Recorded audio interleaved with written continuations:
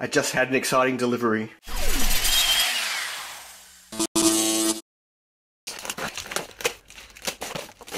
Uh-oh, my least favourite thing in the world. Look what's inside. Yuck. Stuff. I really don't want to have to clean this up again. See if I can get the boxes out without... Okay. Let me go empty this in the bin first. Okay, I found this while I was um, yeah, emptying that out. A few more scraps. Okay, here we go.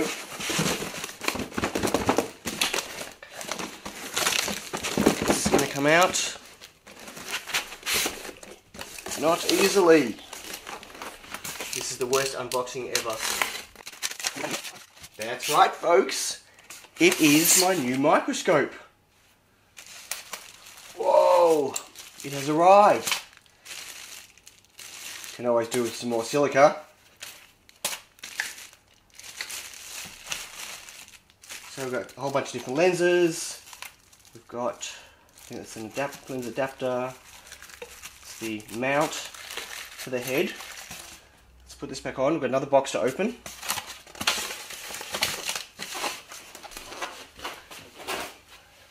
So much polystyrene. So good for the environment. I appreciate it being packaged well for the trip, but polystyrene should be banned worldwide. Okay, and this is the arm, and that is huge and heavy. Holy moly. I didn't realize it was solid metal. Oh, look at that. This is the articulated arm. Wow. I don't know if my desk is strong enough to hold that. I hope so. Look at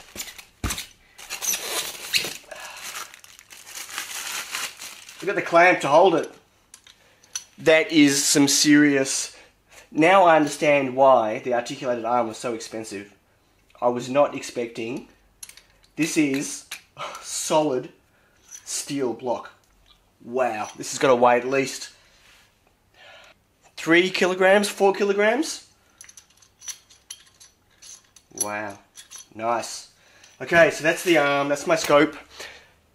Let's take a closer look at all the parts, but on my desk. Okay, I'm going to try my best to open this all and show it to you. Just move these out the way. We'll see what's inside those in a moment. So, we have... Hmm. That must be the cover. We have the mounting head that it fits inside. I assume. Somehow. Okay.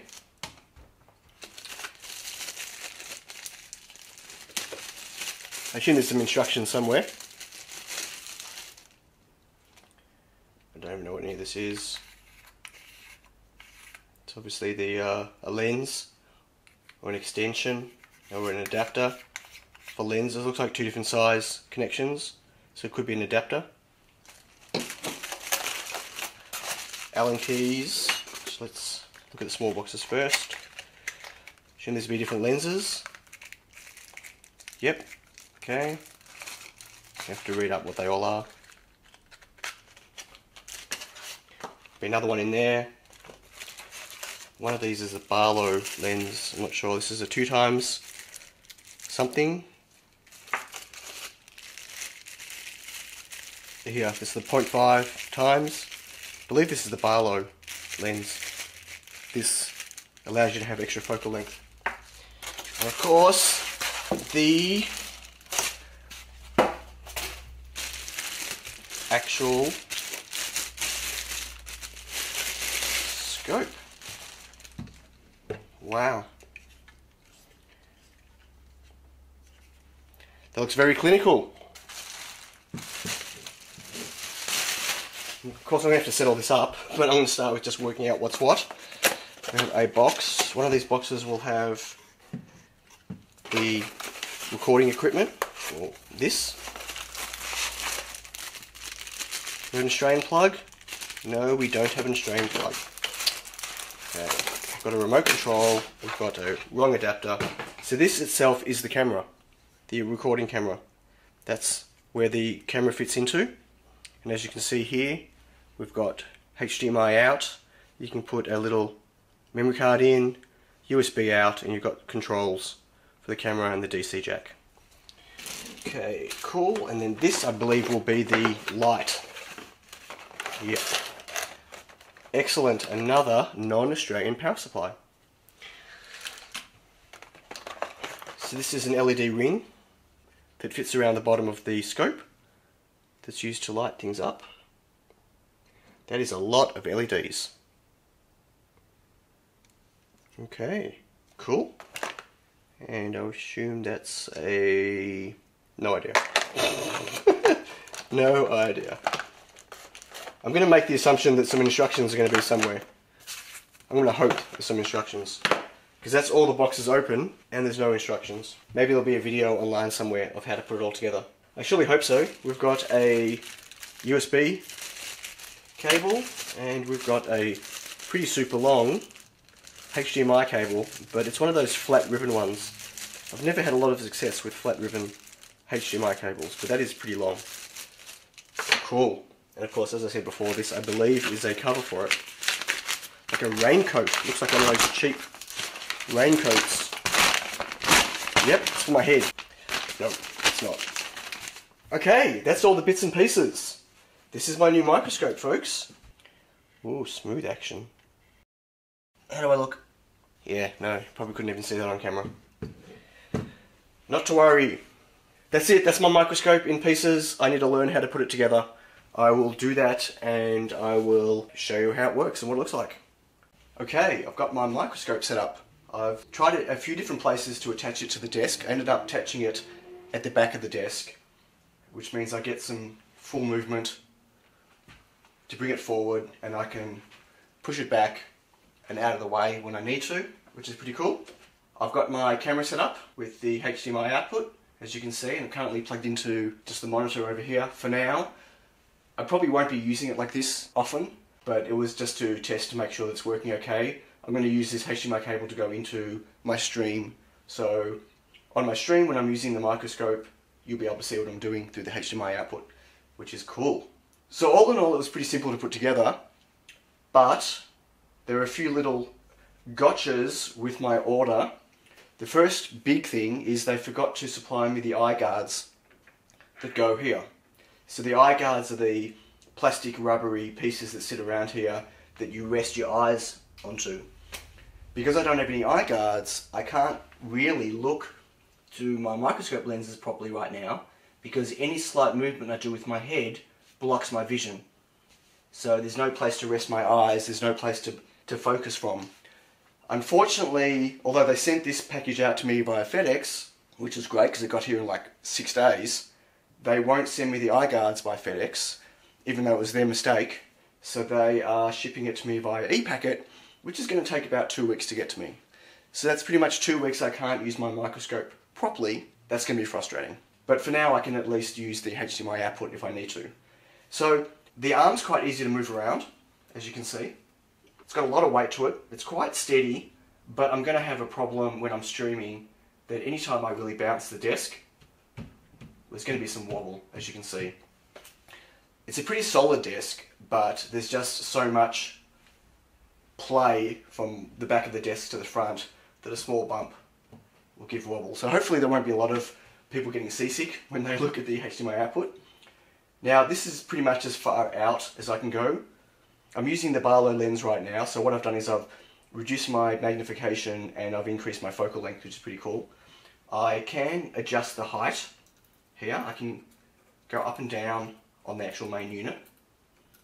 I'm finding that just having it down all the way is pretty good. I can zoom in and out. So if I zoom in here, I can then adjust my camera's focal. And as you can see, I can get pretty, pretty close to work. Now one of the issues I'm finding is there's no real diffuse over the light ring at the bottom. So it's super bright and sharp and it makes it very hard with the reflectiveness of the board to sometimes actually see what I'm doing. But that's a pretty good level of zoom on the camera. And in terms of what I'm actually seeing through the eyepieces, when I, when I can look at it at the moment, it's even better and clearer.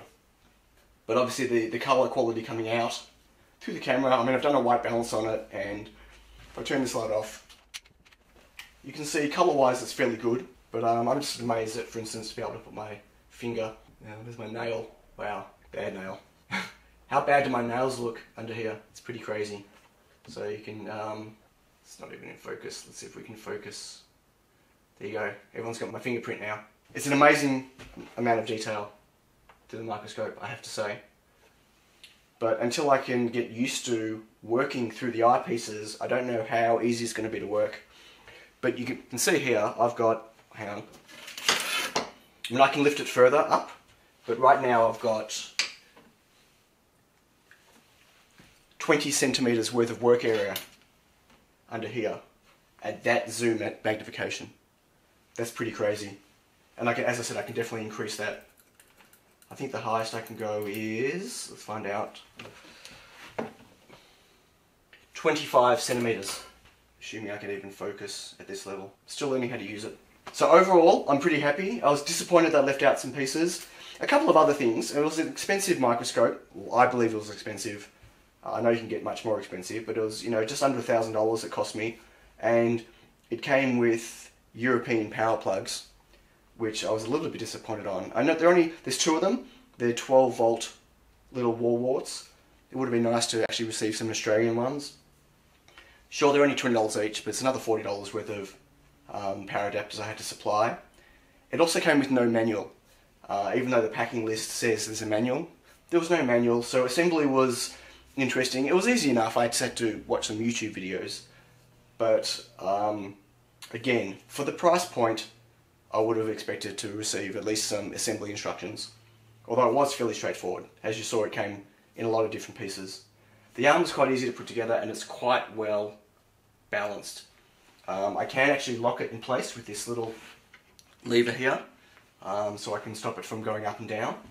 Now, I'm going to have to work out some cable management because this is a bit yuck. Right now, the HDMI cable isn't long enough to go all the way back and I'm going to need something even better to go to my PC all the way around for streaming. It actually came with a HDMI cable, a really long one, as you can see here, but it doesn't work. So that was a bit disappointing. Anyway, that's it. This is my new microscope. I am not really going to be able to use it properly until I get my eye guards. Maybe I'll do another update video about that in the future. But otherwise, yeah, I'll be able to stream, I'll be able to work through it, and I'll be able to build some little TinyPICOs. Thanks for watching. I will catch you all next time.